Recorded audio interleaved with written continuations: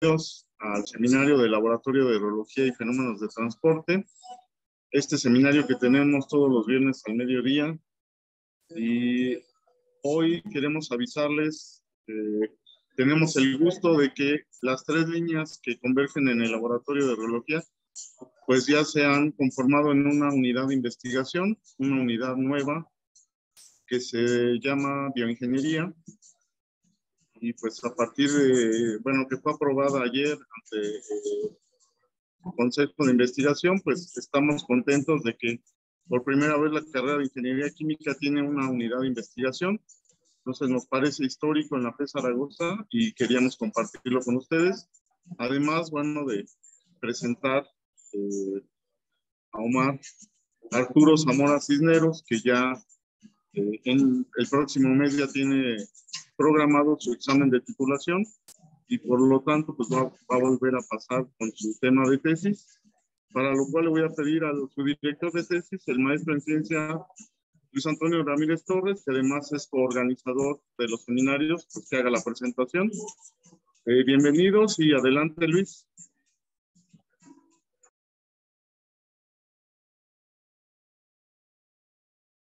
Sí, muchas gracias, doctor. Ya me escuchan, ¿verdad? Bueno, pues es un verdadero placer presentar a Arturo Zamora Cisneros. Es, es mi, mi, alumno tesista de licenciatura. Él es, eh, bueno, va a ser ingeniero químico en la Facultad de Estudios Superiores de Zaragoza. Nos va a presentar el tema eh, intitulado Estudio analítico de los mecanismos de relajación en función de transferencia compleja de un líquido viscoelástico es para optar por el título de ingeniero químico. Le deseamos muchísimo éxito Arturo ha hecho un gran trabajo hasta este momento, ya está a casi a, punto de obtener el título de ingeniero químico. Entonces te cedo la palabra, Arturo, y lúcete, este es tu tiempo. Adelante, Arturo, suerte. Muchas gracias, doctor. Eh, quería agradecer a los que están presentes por estar eh, a punto de observar mi presentación. Les agradezco mucho. Como mencionó mi asesor, voy a hablar acerca del mecanismo de relajación que ocurre dentro de un líquido viscoelástico.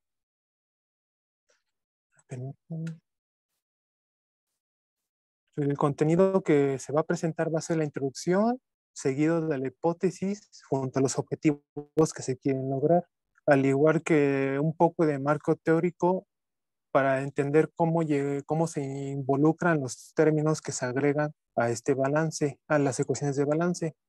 Eh, un diagrama de flujo que va a presentar las decisiones que se tomaron a lo largo del trabajo y los resultados que se obtuvieron a partir de esas decisiones, al igual que las simulaciones numéricas generadas a partir del programa matemática. Y finalmente las conclusiones y el trabajo futuro. La introducción es que en la industria química, usualmente para poder lograr describir los procesos, es necesario utilizar distintas ecuaciones de balance, las cuales se deben de obtener de manera simultánea, lo cual podría generar algunos problemas en cuestión de programación, ya que si se equivoca una variable, un, un número, puede ocasionar que todo se derrumbe y es necesario revisar los dos códigos a la vez. Para este caso se propone una función lineal en la cual se va a acoplar en, un fenómeno de transporte en el cual va a ser el de momento. Y se va a presentar esta función con una interdifusión que se verá más adelante. Por lo que este estudio se llevó a cabo en una tubería cilíndrica rígida que no va a ser, va a ser flujo no estacionario y por la cual va a fluir un material viscoelástico lineal y el cual va a estar descrito por tres distintos modelos constitutivos. La hipótesis de este estudio, este trabajo, es de que si este mecanismo de relajación se es manifestado, que se manifiesta por la interdifusión de momentum en algún fenómeno de transporte, que se presente durante un flujo de material viscoelástico en una tubería, entonces se va a poder observar ya sea un aumento o disminución en algunas o todas las propiedades de flujo, ya que puede generarse debido a un efecto resonante. y este efecto resonante va a ser mayor o menor al momento de que haya una interacción entre, entre el polímero solvente o un polímero polímero dentro del fluido viscoelástico. Los objetivos, el objetivo general es que se debe de deducir las ecuaciones correspondientes al perfil de velocidades, al flujo volumétrico, la función de transferencia compleja y el esfuerzo que se genera en la pared del material viscoelástico a través de tres modelos constitutivos, el cual va a estar sometido a un gradiente de presión constante junto al susodicho mecanismo de relajación cinemático. Los objetivos particulares son que se debe deducir las susodichas ecuaciones de balance, las cuales son aplicables al sistema. Dos, sería resolver la ecuación diferencial a través de una transformada de Fourier. Luego sería obtener el perfil de velocidades, al igual que el flujo volumétrico y la función transferencia compleja, para después lograr obtener la expresión del fuerza en la pared. Como última deducción sería obtener la velocidad de fase y la velocidad de grupo, la cual está, la velocidad de fase se representa con la letra V mayúscula y asterisco, y la de grupo con la U mayúscula asterisco, para así lograr obtener un parámetro de dispersión en los distintos modelos y utilizar el programa GOFA Matemática para realizar las simulaciones. Como, como marco teórico, primordialmente empezaremos con un poco de qué es la reología. La reología se ha definido como el estudio del flujo y la deformación de los materiales, en el cual es el objetivo principal de la reología es observar cómo va a ser el comportamiento de los materiales, en nuestro caso el viscoelástico, a través de modelos matemáticos, los cuales los materiales van a estar sometidos a distintos experimentos, los cuales van a requerir que se deformen los dichos materiales para poder observar su comportamiento. Y por lo cual se estudiará al igual sus propiedades biológicas. Dos propiedades que son relevantes para este estudio es la viscosidad, la que ya se puede, se puede interpretar como una resistencia, la cual los fluidos van a presentar al momento de ser deformados cuando son sometidos a un esfuerzo, como se presenta en la figura 1, una viscosidad alta y una viscosidad baja, puede, la cual esta propiedad puede variar dependiendo del tiempo y de la temperatura, al igual que el material que contiene. Y la segunda, segunda propiedad sería la elasticidad, la cual esta es para los sólidos y nos indica la tendencia de los sólidos a poder regresar a su estado natural al momento de sufrir deformaciones reversibles, como es el ejemplo de una liga, que al extenderla y a dicha deformación y soltarla va a regresar a su estado natural. La reología clasifica a los fluidos primordialmente en gases o en líquidos. En este caso, lo que nos interesa son los líquidos, ya que Mm, ser material viscoelástico no va, va, a ser, va a ser un líquido no newtoniano y al ser lineal va a ser posible utilizar analogías mecánicas para entender su comportamiento. Lo, para entender qué es un fluido viscoelástico lineal es se puede dar se puede explicar como un mecanismo analógico en el cual va a presentar tanto un comportamiento disipativo, que va a ser la parte viscosa, y la propiedad de restitución, que va a ser la parte elástica. Los modelos mecánicos son para ilustrar el comportamiento de estos y usualmente son combinaciones de resortes y de pistones con fluidos newtonianos adentro, en la que el resorte representa la ley de Hooke mientras el pistón va a obedecer a la ley de viscosidad de Newton. Los tres modelos constitutivos que se utilizaron en este trabajo es el modelo de Maxwell, en el cual es uno de los más sencillos, ya que para representarlo mecánicamente se coloca en serie un resorte y un pistón y es la manera más simple de representar a un polímero fundido, el cual va a estar sometido a unas bajas frecuencias. Y en este se va, en este modelo matemático, en el modelo de la adecuación, se va a integrar una variable llamada tiempo de relajación en Maxwell.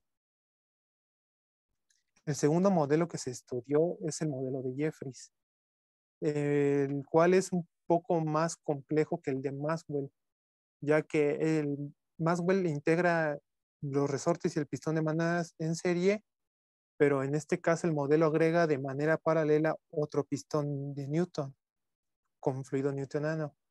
En, este se va a poder considerar tanto la contribución del polímero, que es la parte del modelo de Maxwell, como la del solvente, que va a ser el pistón, en paralelo. Y a medida que se va aumentando o agregando componentes, la ecuación que representa el modelo va a ir en aumento, agregando mayores tiempos como el que se presenta en Jeffries, que es su tiempo de relajación. Y el tercer modelo que se va, que se trabajó es el modelo de Burgers, en el cual este agrega al modelo de Maxwell, va a agregar otro modelo, el cual es llamado el modelo de Kelvin Boyd. Y el modelo de Kelvin Boyd es representado como un pistón y un resorte en paralelo. Y a medida como se mencionó que se agregan componentes, se va aumentando la ecuación y dificultando su posterior análisis y sus deducciones. Vamos a hablar un poco de, la teoría de, teoría de ondas para entender un poco qué es la velocidad de fase y la velocidad de grupo, al igual que el parámetro de dispersión. Esta es una rama de la física en la cual se va a estudiar acerca de los fenómenos ondulatorios y sus propiedades que se generan, al igual que sin importar el origen del que proviene dicho fenómeno. Y lo, si se puede entender una onda que esta una onda consiste en que es una propagación ya de una perturbación ya sea de cualquier origen y que presente de alguna propiedad del espacio, ya sea con o sin materia. Se presenta en la figura 9 una representación gráfica de una onda en la cual se ve, se observa la que es la longitud de onda, que se va a representar con la letra griega beta, y, la, y su amplitud, que va a ser letra griega lambda, subíndice la beta.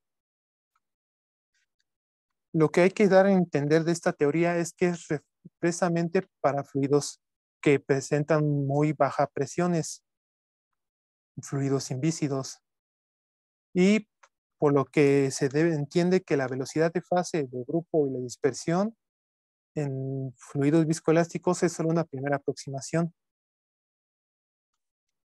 La velocidad de fase se puede definir como la rapidez a la cual un pulso se propaga a través de un medio, por ejemplo en, en el vacío, y viene representado por la letra V. mientras que la velocidad de grupo va a ser la velocidad, el paquete a la cual las velocidades de fase o la energía, las distintas, eh, perdón, disculpen, la velocidad de grupo va a ser la suma de las distintas velocidades de fase y se va a representar como un paquete. Y esta va a transmitir la energía y puede diferir tanto en magnitud como en dirección de la velocidad de fase al ser una suma por lo que se entiende que la dispersión va a ser una diferencia entre la velocidad de fase y la velocidad de grupo para intentar entender cómo se dispersa durante, durante la propagación en el medio que se lleva a cabo. Para poder trabajar con la velocidad de fase y otros posibles, estudiar otros posibles estados, es posible cambiar el dominio de las frecuencias a través de una transformada de Fourier. Y aparte de considerar y cambiar del dominio, es posible recurrir a otras funciones para poder facilitar más las ecuaciones que se obtienen al final. También lo que nos va a ayudar, al igual que la transformada de Fourier, va a ser la función de transferencia, ya que esta nos va a ayudar a relacionar una variable de entrada para poder generar la de salida, la cual va a ser un estado dinámico. Y otra ventaja de Fourier es que se puede generalizar el modelo, se puede generalizar la función transferencia compleja para cualquier modelo viscoso inercia o viscoelástico inercia, lo cual nos facilita mucho el trabajo al momento de las deducciones.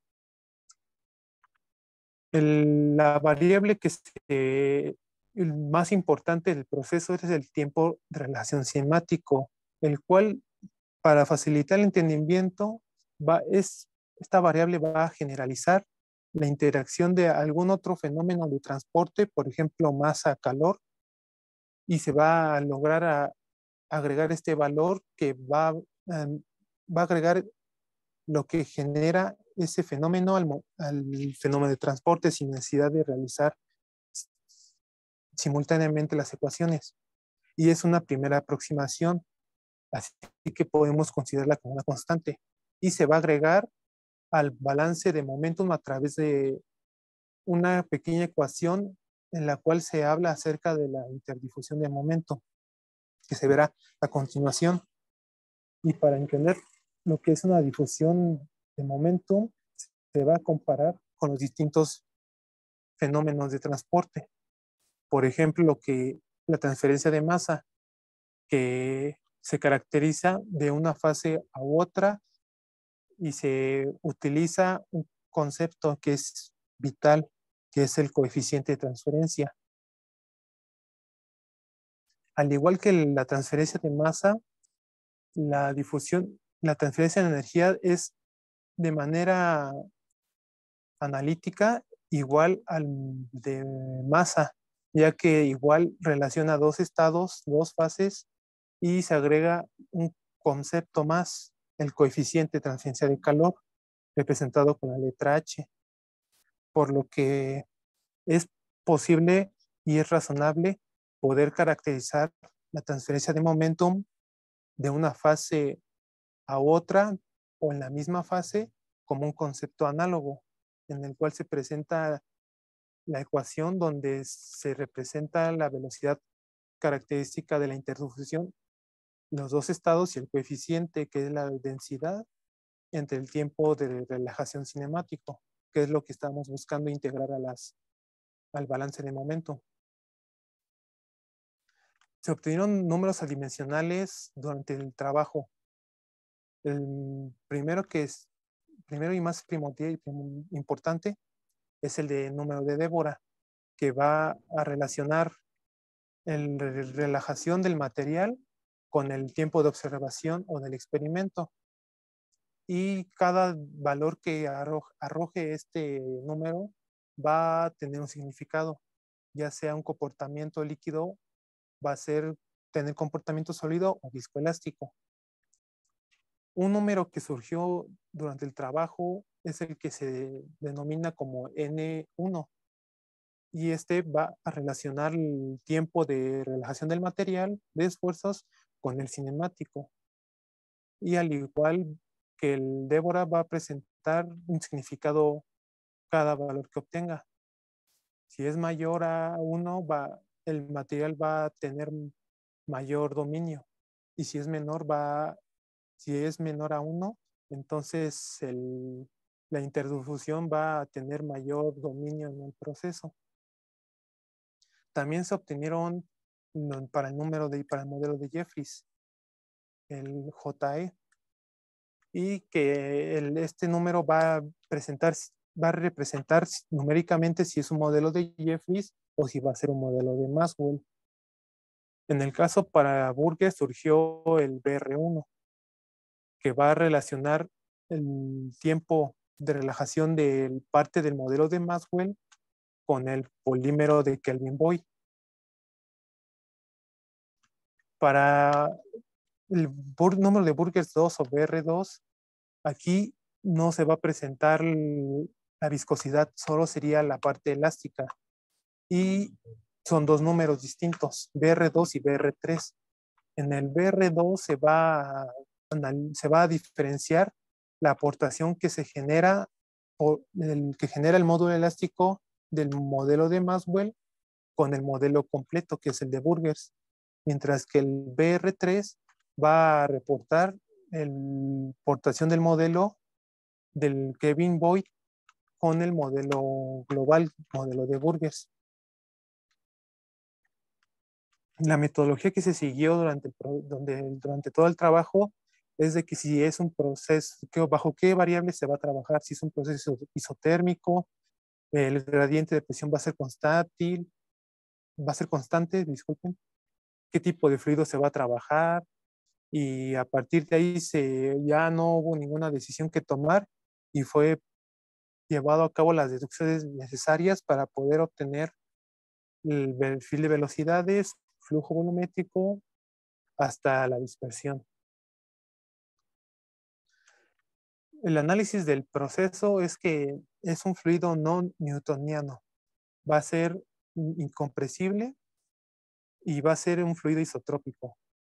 El flujo va a ser no estacionario, va a ser isotérmico y en un régimen laminar. No se va a presentar alguna reacción química. Al igual que las fuerzas gravitacionales van a ser despreciables. Y el mecanismo de relajación, que va a ser la interdifusión, va a ser lineal.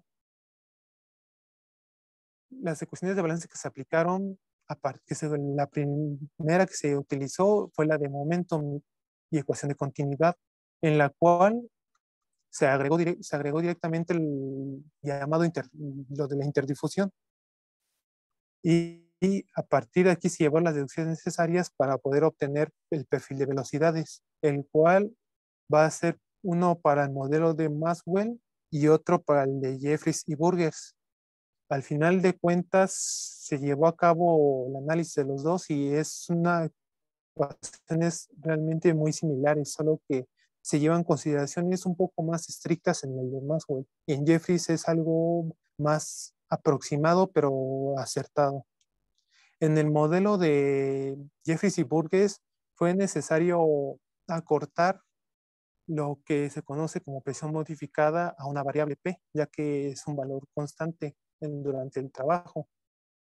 Y lo que se conoce como operador viscosidad, es necesario agregarlo ya que va a presentar un modelo constitutivo, lo que va a regir y diferenciar de distintos modelos a las ecuaciones de perfil de velocidades. Mm, lo que se ocupó en el trabajo fue la inversa de este operador viscosidad, el cual fue llamado operador fluidez para mayor facilidad y no tener que estar escribiendo la inversa del operador. Y se presenta la deducción también obtenida final del flujo volumétrico, tanto para el modelo de Maxwell como el modelo de Jeffries y Burgers. La diferencia que radica en estos modelos es presenta también en la función de transferencia compleja, que puede ser la misma, el mismo base de función, va a cambiar dependiendo de la beta con asterisco, conocida como beta dimensional, y los distintos modelos. Para Maxwell, hacer el más simple va a ser el más corto y se presentan números dimensionales. Mientras que en Jeffries y en Burgess se va a extender de manera radical y se va a presentar los números dimensionales respectivos a cada modelo. Para el esfuerzo en la pared, se llevó a cabo una deducción rápida con respecto al operador viscosidad y una ecuación diferencial, para lo cual también la velocidad, las velocidades de fase de grupo son obtenidas a partir de solamente una diferencia. Y, de un, y con respecto al de grupo se llevó a cabo una ecuación diferencial, mientras que para la dispersión es solo una simple resta. Los resultados obtenidos se van a presentar a continuación y se presenta en la tabla los datos que se ocuparon. hacer este trabajo, una primera aproximación, consideré utilizar valores unitarios para observar cómo es el comportamiento y observar qué tan confiable es esta aproximación con estos valores. Se lleva a cabo el perfil de velocidades en la cual se va a variar el radio y va a tener una frecuencia de un hertz. Esta gráfica pertenece al modelo de Maxwell, en la cual se observa el modelo complejo, el módulo elástico y el módulo viscoso. En este caso se observa que el modelo complejo, que en este caso va a ser el que se observa de manera se observa de manera en, el proceso, va a ser la que está con color negro y es la que va a presentar mayor velocidad, en especial cuando el radio es igual a cero en el centro del tubo. Presenta una, para, como una parábola. Con, con respecto al modelo de Jeffries, va a variar un poco el comportamiento de las partes elásticas e eh, viscosas, pero aún así su módulo complejo, lo que se ve realmente va a ser como una parábola y se va a presentar también una velocidad máxima en el radio igual a cero metros. Y está finalmente el modelo de Burgers, el cual tiene un comportamiento muy similar al modelo de Maxwell, en la cual las tres, las tres partes, real, imaginario, modelo complejo, presentan comportamiento parabólico y la máxima velocidad que se obtiene es en el centro del tubo. Aquí se presenta cuando el tiempo de relajación cinemático va variando y se presenta el módulo complejo. Para el modelo de Maxwell se observa que hay un flujo tipo tapón al momento de que el lambda sea menor que tenga, tienda a cero. A medida que se va aumentando, va formando una parábola en la cual la máxima velocidad que se alcanzó se logró en el centro del tubo cuando lambda equivale a 0.1 segundos. Para el modelo de Jeffries, igual se presentó un máximo, una máxima velocidad al momento de que lambda alcanzó el punto 1 segundos. Y a medida que se va acercando este valor a cero, va generando menor velocidad y comportamientos un tanto erráticos, presentando como valles y a medida que se va aumentando el valor de lambda se va deteniendo el flujo llevando, llegando a cabo incluso hasta un flujo tipo tapón. Se observa también en el modelo de Burgers un comportamiento similar al de Jeffries, en la cual la máxima velocidad se obtiene a lambda igual a 0.1 segundos. Y a medida que se va aumentando este valor, empieza a disminuir drásticamente la velocidad. Las tres gráficas que se presentaron fueron igualmente a un Hertz por lo que en estas siguientes tres siguientes gráficas la frecuencia va a ir variando, variando igual que el tiempo de relajación. A medida, en frecuencias muy bajas, si el lambda tiene un valor que tienda a cero, va a ser mayor la velocidad dentro del tubo en el centro.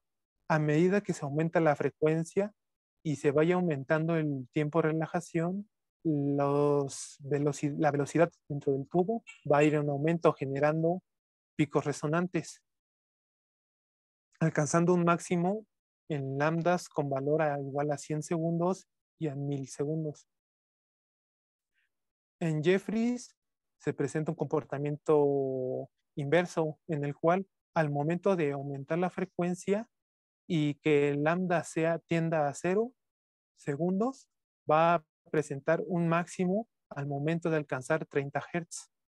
Y a, frecuencias muy bajas se presenta un pico máximo de velocidad cuando el lambda tenga valores mayores a un segundo. Con respecto a burgers, eh, se presentan a lo largo de toda la frecuencia, hasta 20, se presentan picos resonantes referentes al tiempo mayor a un segundo, mientras que cuando tiende a cero se presenta una mayor velocidad a bajas frecuencias. Referente al flujo volumétrico, en este caso del modelo de Maxwell va a presentar que a mayores frecuencias, no importa qué valor de lambda cinemático, tiempo de relación cinemático se trabaje, ya que va a llegar a tener un valor constante equivalente en cualquiera de los valores de lambda. Pero en bajas frecuencias, si lambda tiende a cero segundos, va a ser mayor el flujo volumétrico y se presenta un pico máximo al momento de alcanzar la frecuencia de 2 Hz cuando lambda cinemático tiende a infinito. Con respecto al flujo volumétrico de Jeffries, se presenta el mismo pico resonante aproximadamente en 2 Hz, 2.5, con las mismas condiciones de tiempo de relajación, que en este caso el mayor punto máximo se obtiene cuando lambda equivale a 5 segundos y va disminuyendo el pico a medida que incrementa proporcionalmente. Y se presenta un flujo volumétrico máximo en tiempos de relajación menores a lo largo de toda la frecuencia. Y para el flujo de volumétrico de Burgers, Igualmente, como en las anteriores tres gráficas, se presentó un pico resonante, solo que eh, se presenta muy vagamente los picos resonantes durante toda la frecuencia, pero la que simplemente destaca más es cuando la frecuencia se alcanza de 5 Hz aproximadamente. Y el pico máximo en este mismo es cuando se tiene un tiempo de relajación de 5 segundos. Y el flujo volumétrico mayor, que es durante todo el proceso, se obtiene cuando el tiempo equivale a 0.1 segundos. La función de transferencia compleja se observó que no varió en los tres distintos modelos, como se va a presentar a continuación. Para Maxwell, se presentó curiosamente el mismo pico resonante en el flujo volumétrico y es con, consistente ya que a partir de la transferencia compleja se obtuvo el flujo volumétrico. Y ese mismo dicho pico se obtiene a frecuencia de 2 Hz cuando lambda tiende a infinito. Con respecto a la función para Jeffries, se presenta el mismo pico resonante aproximadamente en 2 Hz y el pico máximo es cuando es 5 segundos de tiempo de relajación. Y aquí se ve los distintos picos resonantes que se veían vagamente en la, flujo volumétrico de Burgers. Se aprecia claramente que proviene de la función de transferencia compleja, donde el pico máximo se obtiene alrededor de, alrededor de 5 Hz y 5 segundos, lo cual se podría considerar que es un efecto resonante con la frecuencia y el tiempo. El esfuerzo generado en la pared a partir del Maxwell es máximo al momento de trabajar en frecuencias muy bajas y tiempos cinemáticos muy bajos, mientras que los mínimos obtienen lambdas que tienden a infinito. Para Jeffries, el esfuerzo máximo que también se genera es igualmente cuando tiende el tiempo de relajación a 0.01 segundos, sin importar la frecuencia en la que se trabaje. Para Burgers se presenta un esfuerzo enorme cuando se trabaja tiempos cinemáticos de 0.01 segundos, mientras que cuando el tiempo de relajación tiende a infinito a partir de un segundo, se observa distintos picos resonantes, los cuales van en disminución.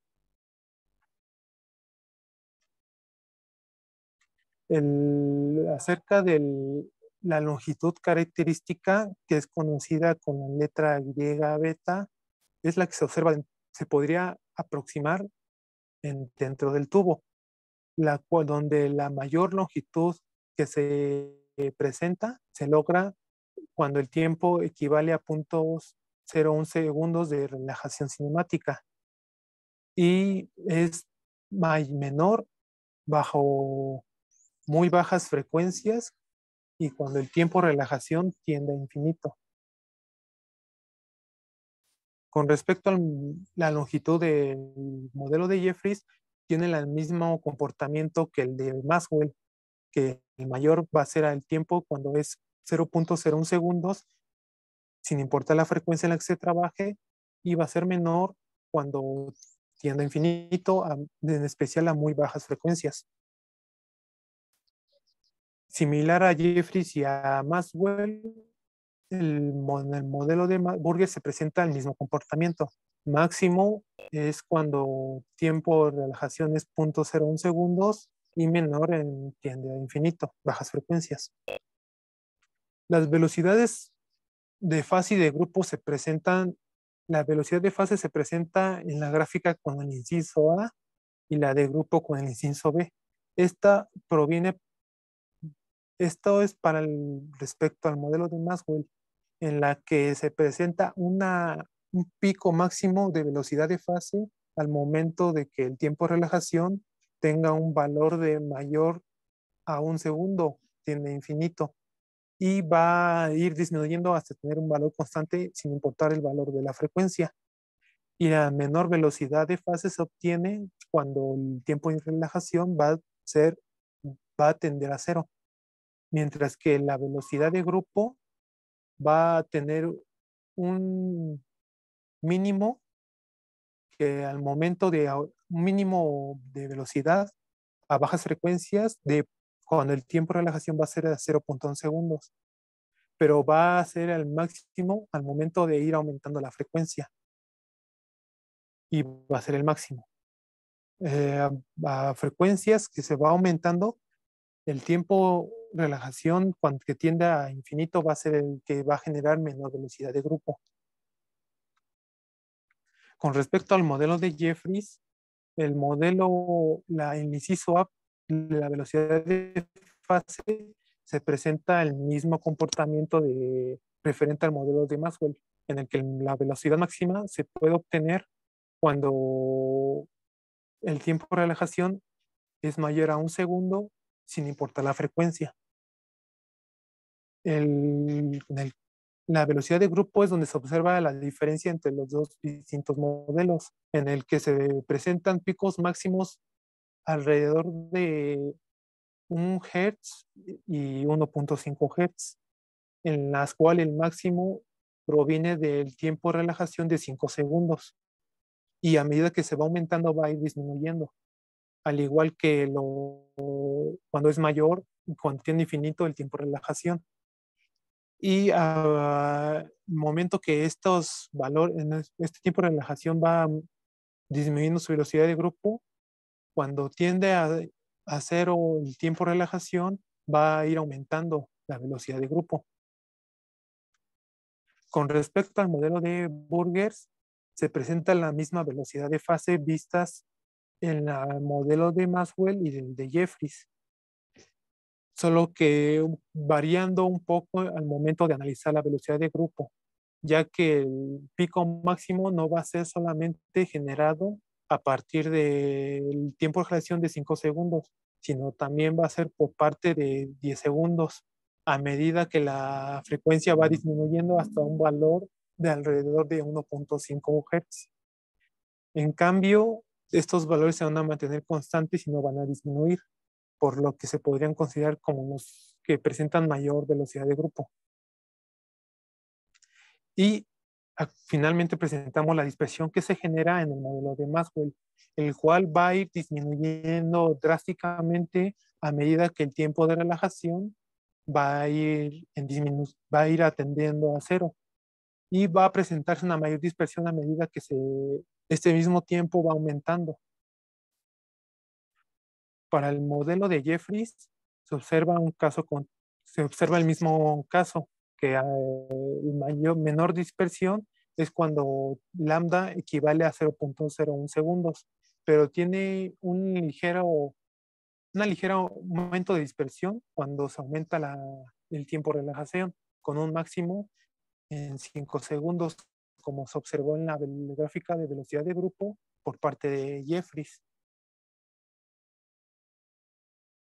Y para el modelo de Burgers se presenta una gráfica similar a su velocidad de grupo, lo cual podría dar a entender que la velocidad de grupo va a tener una mayor, mayor presencia en la dispersión. Y los, los puntos máximos que se obtienen son cuando el lambda equivale a 5 segundos y 10 segundos a bajas frecuencias y a medida que se aumenta la frecuencia, el lambda equivale a 1000 segundos va a presentar la máxima dispersión. Las conclusiones de este trabajo es que el perfil de velocidades, el flujo volumétrico y la, la función de transferencia compleja fueron máximos en la mayoría de casos cuando el tiempo de relajación equivale a 0.1 segundos, mientras que el esfuerzo que se genera en la pared se da cuando equivale a 0.01 segundos. La amplitud, la longitud característica mínima se logra con el, cuando el lambda tienda a cero.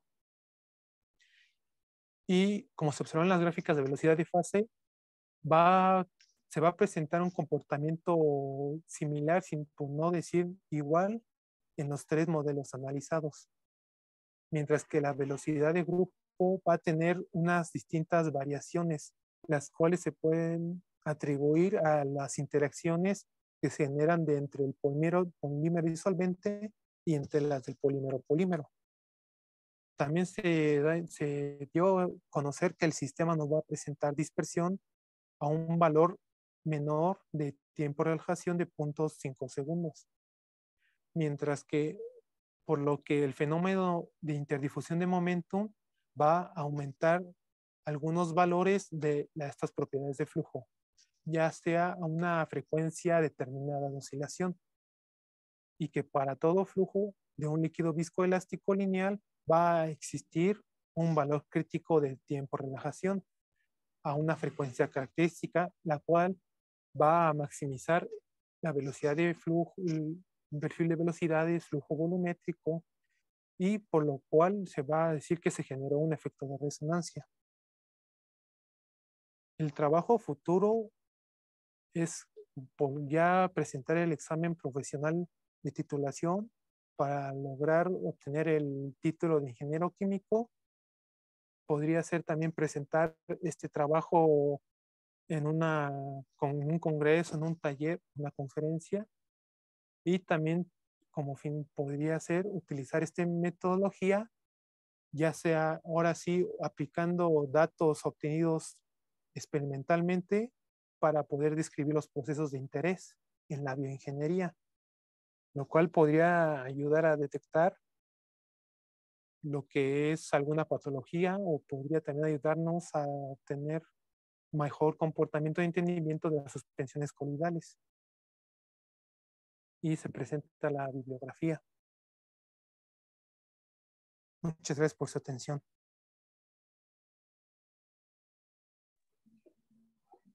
Muchas gracias, Omar, por la presentación.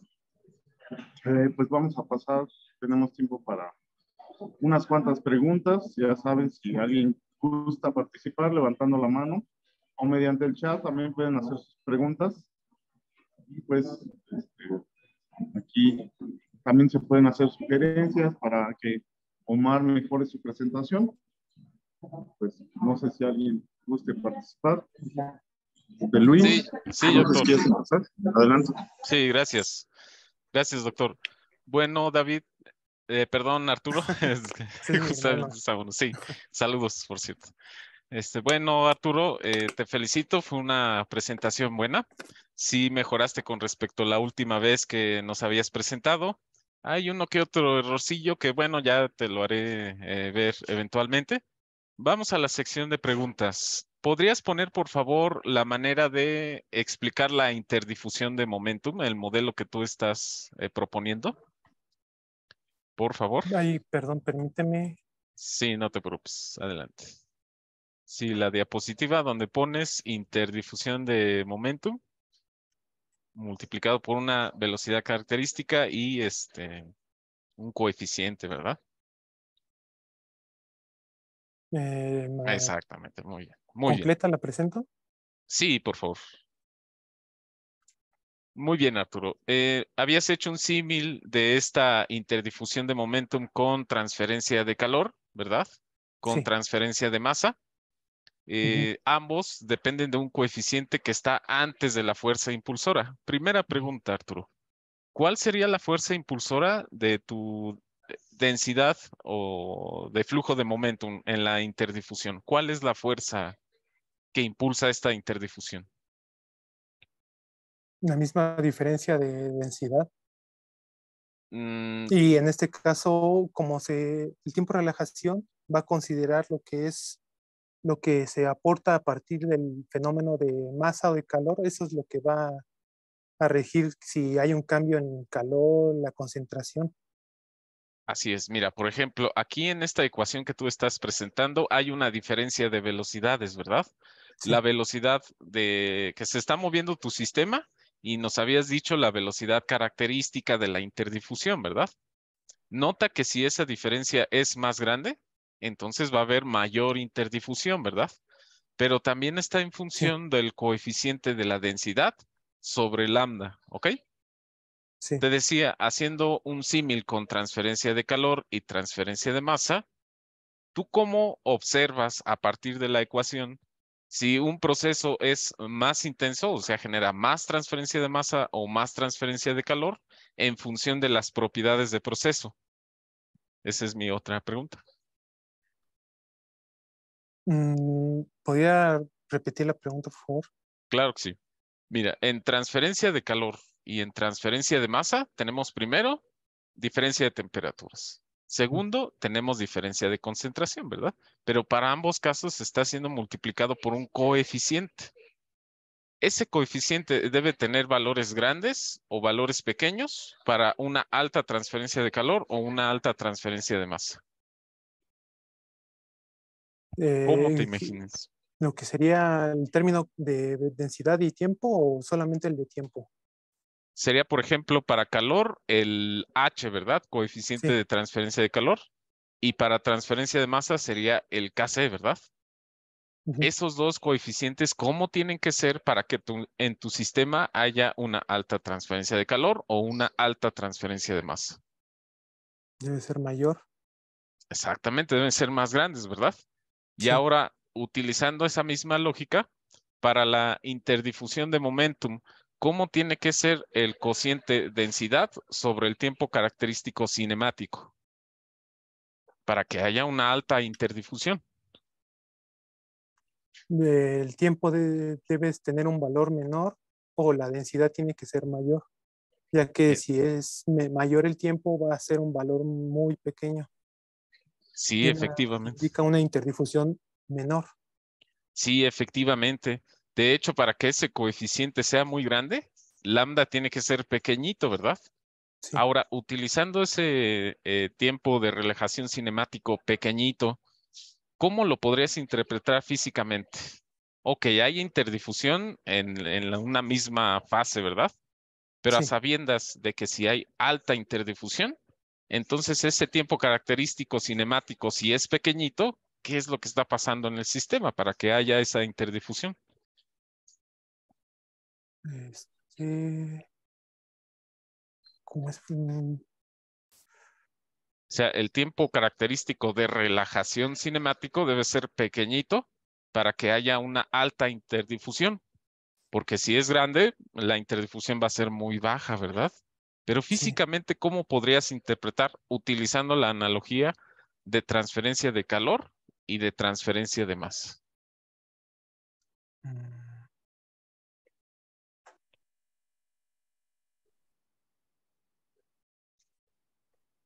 Mm, Disculpe, pero no se me ocurre alguna explicación.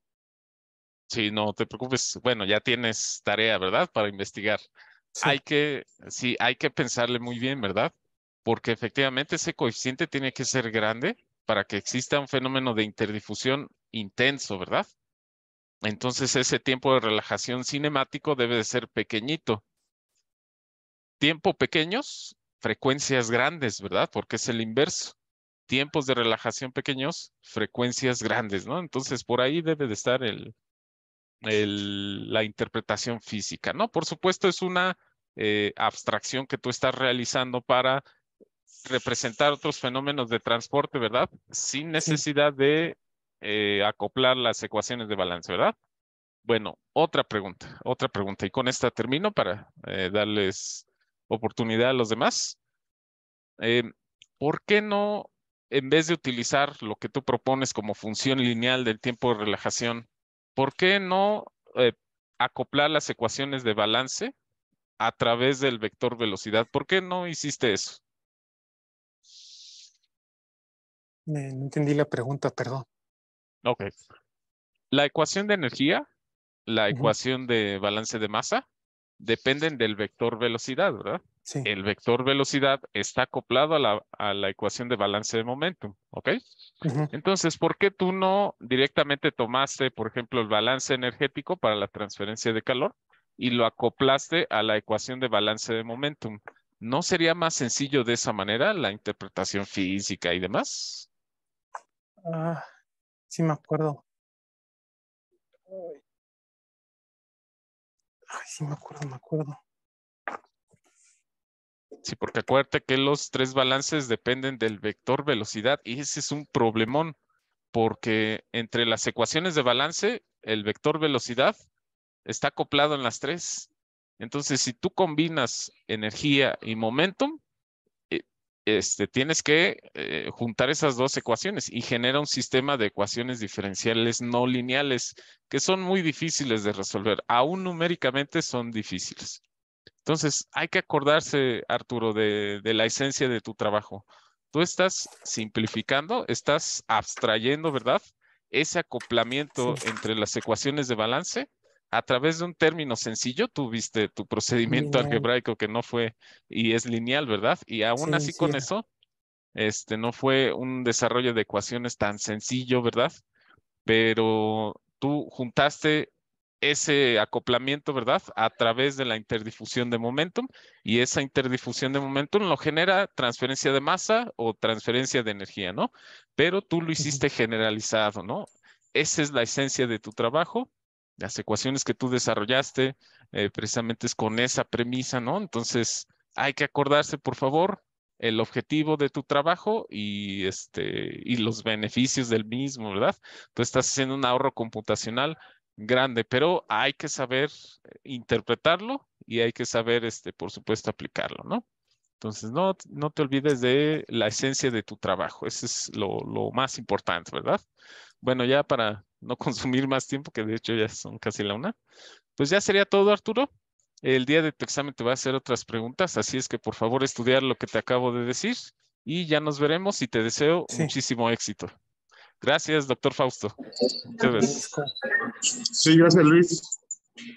Bueno, parece que ya no veo más manos levantadas ni comentarios, así que voy a aprovechar, eh, Arturo, para preguntarte, eh, bueno, primero felicitarte porque es difícil enfrentarse a estos temas que requieren eh, un gran manejo de matemáticas, muchas de ellas que a veces ni siquiera se ven en la carrera. Y pues el objetivo ahorita que vamos a entrar en la carrera a un proceso de actualización del plan de estudios, este, pues hay que empezar a mejorar eh, el proceso de enseñanza para preparar a los estudiantes, sobre todo aquellos que se van a estudiar maestrías y doctorados en otras instituciones. Pues dado que tú te enfrentaste a este tipo de temas, yo quisiera preguntarte, eh, ¿qué asignaturas sugerirías tú que se incluyan en el plan de estudios para que los estudiantes salgan mejor preparados para enfrentarse a este tipo de temas? ¿Qué asignaturas crees que te faltaron ver para enfrentarte a estos temas que nos estás presentando? Ah, era de cálculo, pero se me olvidó el nombre que le, que prosigue. Cálculo vectorial. Un poco entender más acerca de los vectores, ya que se supone que iba a verlos en fenómenos, pero al final no se pudo y se decidió por ver otros temas. Es lo que yo diría que mm, necesita cálculo, cálculo vectorial.